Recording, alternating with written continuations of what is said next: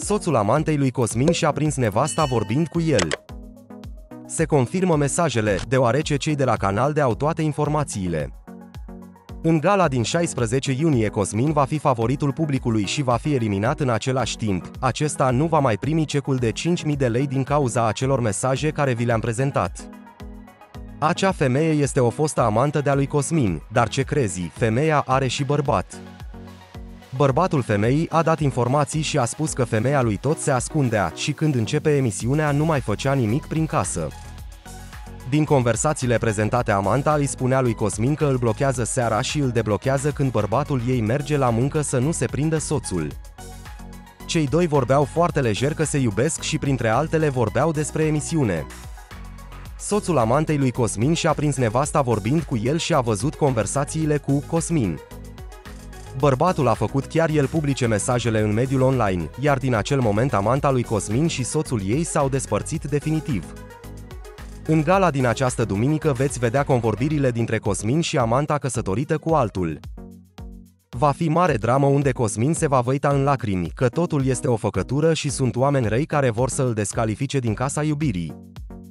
După cum se știe, Cosmin nu este la prima abatere de genul.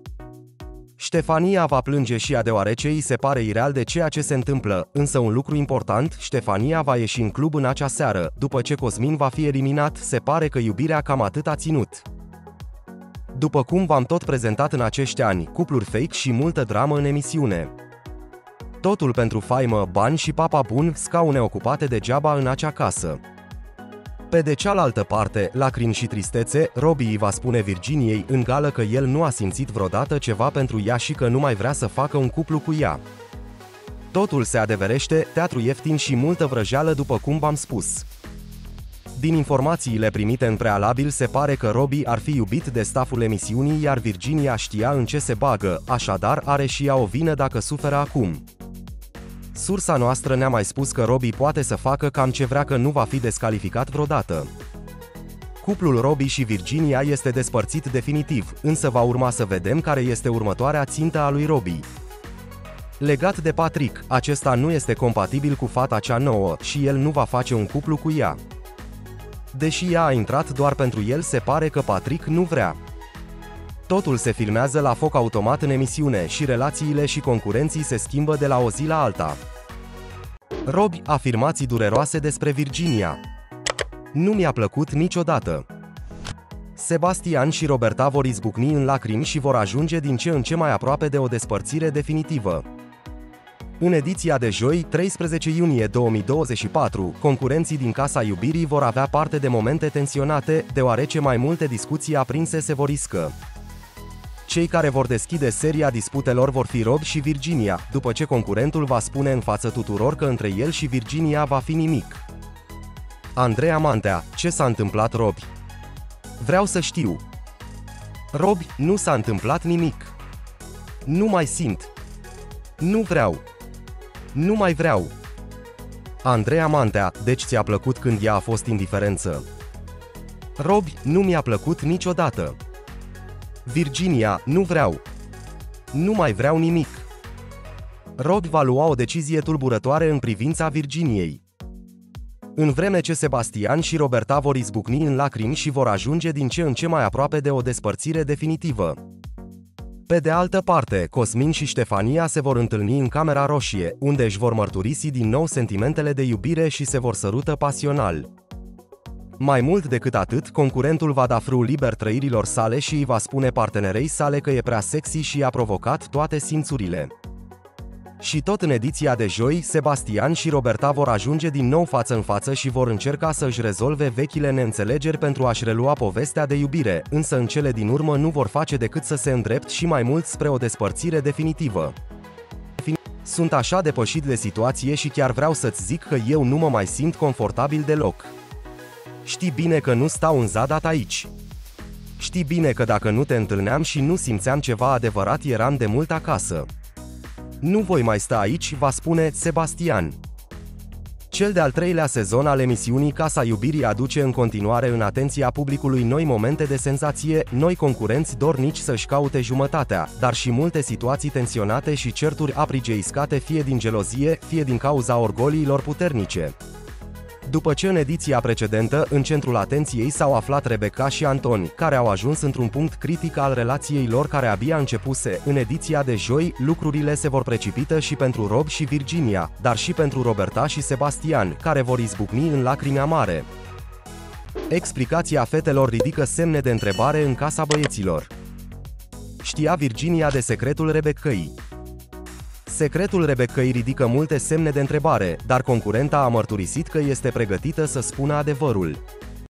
Curiozitate băieților este dacă Virginia, colega de cameră a Rebecăi, știa ce se întâmplă. Uluitor ce a răspuns aceasta. Tensiunea provocată de secretul Rebecăi prinde alt contur după ce Virginia spune că se ascundea în baie pentru a se fer de ea. Virginia a mărturisit că Rebecca vorbea la telefon doar în baie cu dușul pornit. Totuși, Virginia a mărturisit că nu este o situație gravă, ci doar una delicată, având în vedere cum ar putea reacționa Anton. Deși inițial a negat acuzațiile Robertei, Rebecca a recunoscut că nu a spus adevărul în totalitate și că a fost nevoită să mintă o parte. Roberta a acuzat-o pe Rebecca că vorbește cu mai mulți băieți și l-a îndemnat pe Anton să aibă grijă în ceea ce o privește. Care este secretul Rebeccăi? Concurenta se ferea de Virginia pentru a vorbi la telefon. Virginia despre secretul Rebeccăi. Se ascundea de mine în baie. Rebecca a mărturisit că a fost nevoită să ascundă adevărul pentru ca părinții ei să nu afle, având în vedere începutul cunoașterii cu Antoni, concurenta a spus că și el este un motiv pentru care a mințit. Concurenta promite, în schimb, că va spune toată povestea, chiar dacă există riscul ca adevărul îi deranjeze părinții și să îi strice relația cu Anton.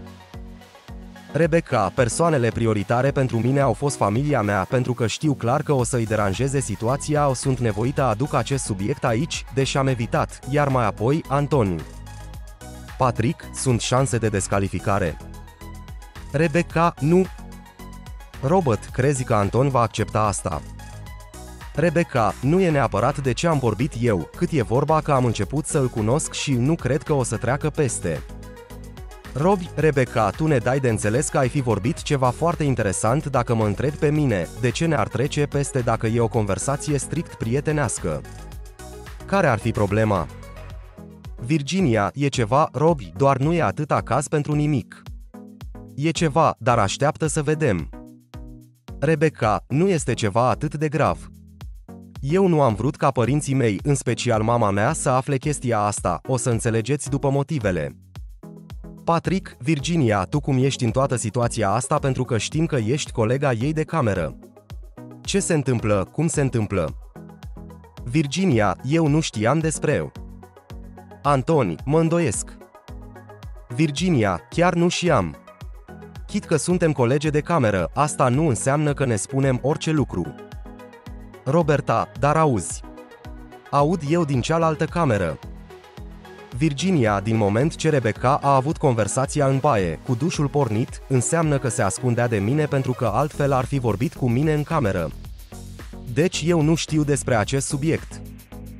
Rebecca, exact. Virginia nu știe nimic.